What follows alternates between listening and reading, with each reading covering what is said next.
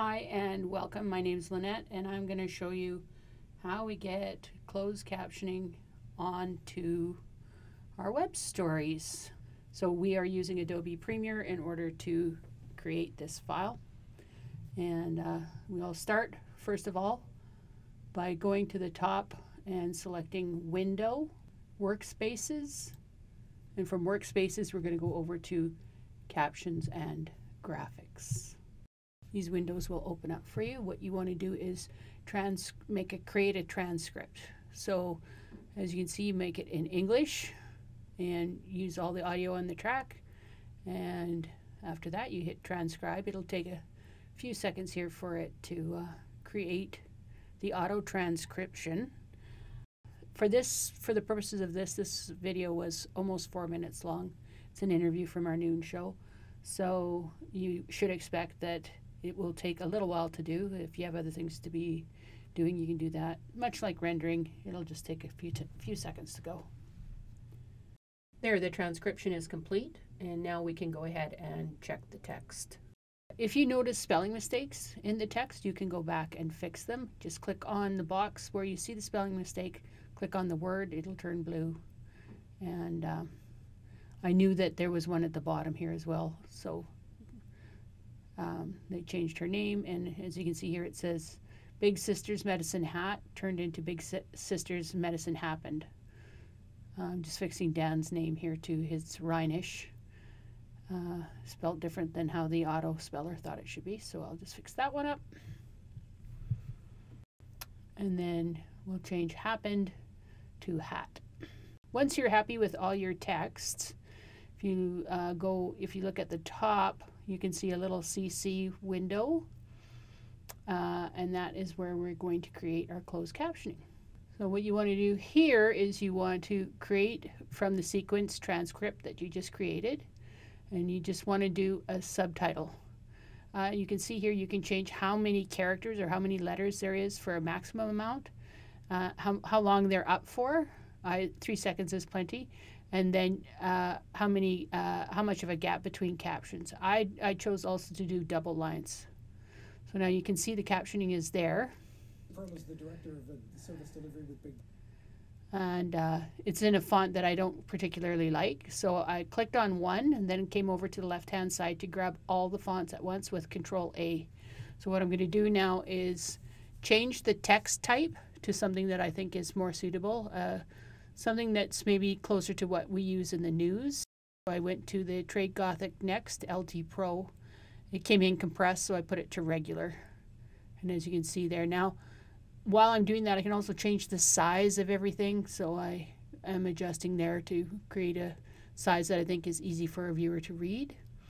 And I'm not really, um, you can have, have the text be in various positions on the screen. Lower middle is what I picked. And then I think it needs a background just to stand out a bit from the carpet there. So I'm going to change the color to more of a darker color like a black. And it's not quite the right size. I think it needs to be sized better. So I'm going to go ahead and change the size of the box. And if you look down, you can see its uh, opacity is 75% and then the size of the box is next to that. And using the slider, I can just change the size of the box. Uh, you can also um, change the corners from being uh, square corners to being round corners. That's what the one below it is. Um, here, let me just make this a little bit bigger so you can see it a little easier, just what the box looks like now. So that's a little easier to read. And yeah, I can make the box bigger. And that I think is about the size I like. Uh, and then you can, round, like I said, you can grab it around the corners a bit just to make it look more stylized.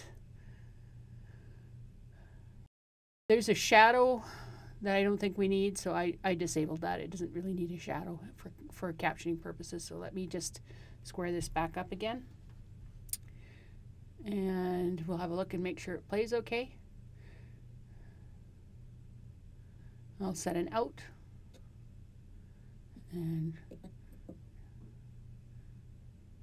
I'm going to go to exports now. A couple things you have to do here with exporting. Obviously, you have to give it a name. Uh, for us, our naming is uh, uh, usually the date and what it is, and then if there's a name needed, then the name.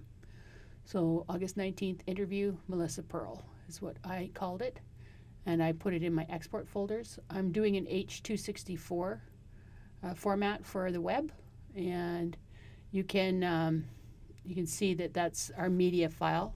And if we scroll down, um, you'll see that there's one there that's called captions. Let me just uh, scroll down a little farther here. There it is. And so it says here a subrip subtitle format, and that's fine. And we want to create a sidecar file.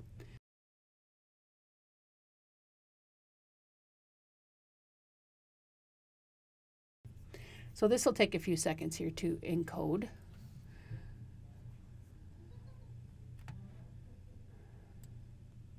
So here we are at 99% of the encoding. It's completed. And we're now done with the portion of the Adobe Premiere. So I will just minimize that. Uh, what we're going to do now is we're going to go ahead and go into the Dacast, log into there, and we are going to prepare to upload this item.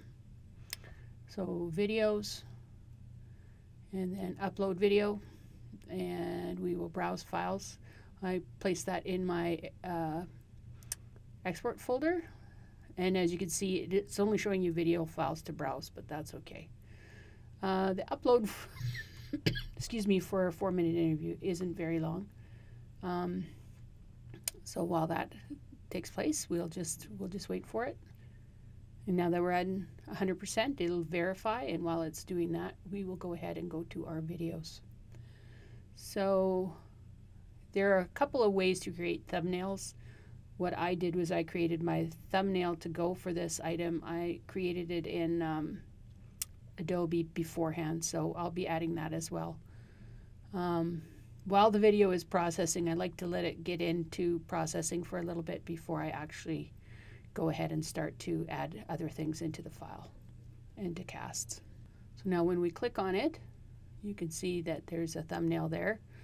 Get on the little cloudy feature, and uh, we're going to upload a file, and that's also in my exports folder. So it just takes a second for it to do that, and it'll pop in when we, there it is, it's already popped in there. So if you scroll down, you'll see it says subtitles, and we're going to add a subtitle.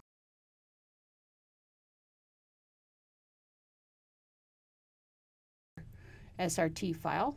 So we'll open that up and we just have to tell it that we want it to be in English. So we'll just scroll down to English and say add, and it will create the file for us. So we'll just have to uh, hit preview, and the commercial will pop up. And when the commercial is completed, we will have our video play, and you'll notice that there'll be an extra box there that is for subtitles.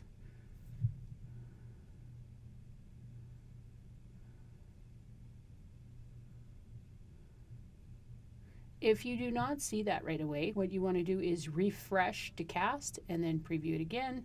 And sorry, you'll have to watch the commercial again. You'll notice they're kind of dropping down funny. That is for the preview. It will not look like it when we actually get it through SuperDesk and put onto the website. So let's have a look at what it would look like on the website now. So this is uh, CHAT news today. So there you have it. That's a quick workflow of exactly how we are putting captioning onto all of our interviews and other items onto our web.